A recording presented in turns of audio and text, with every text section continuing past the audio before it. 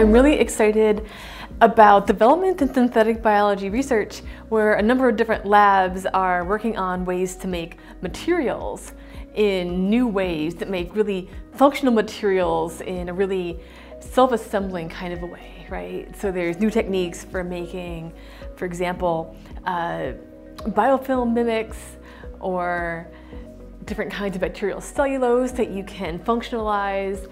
I really like structural materials that are being made or conductive materials. I think there's so much potential in using engineered organisms like bacteria to make really advanced but kind of inexpensive, easy to make materials.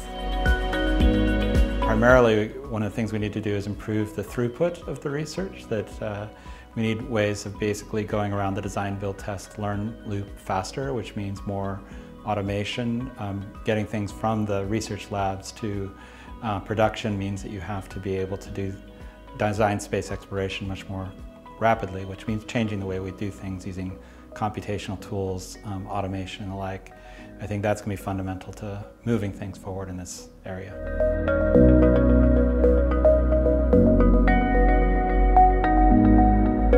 So for development of future biomedical applications, I think that I was really intrigued by a recent paper from the Studart lab from ETH Zurich, where they were using a 3D printer to print bacteria uh, kind of around the shape of a doll's head.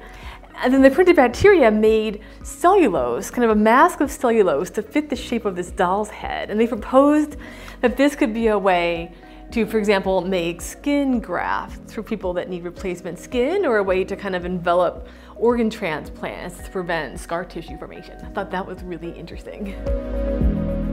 We need to have um, good information available, readily accessible and uh, findable so that you can actually uh, find information, not just have to go through and do the same sort of explorations every single time. So the more this information is captured in ways that can be reused, it's going to expedite the process of um, finding new thera therapeutical solutions.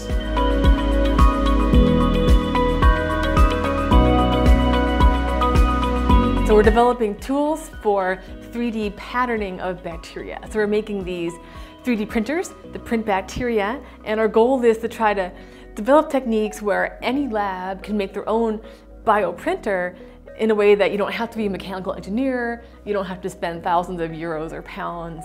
They're just a few hundred pounds, anyone can make them, and then you really have the ability to develop spatially patterned you know, biotissues, living materials for functional applications? Well, I'd be amiss probably from my area not to say that it's the, the computational tools that are really important, I think, going forward. We need to move away from um, doing everything in sort of Word and Excel and start embracing these uh, computational tools for editing our sequences and uh, planning our experiments and, and capturing our data. And I think that's uh, critically important to move this uh, from sort of the small into the large uh, scale.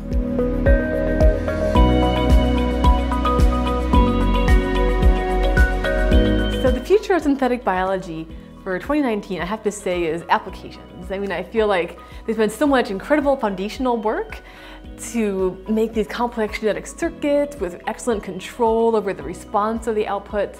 I think that the time is ripe for us to use this to start making applications, make materials, make responsive systems that detect changes in your health, changes in the environment, and I think if we merge biotechnology with our incredible genetic circuits, we can really have, you know, engineered systems that function at a whole new level than we've seen before.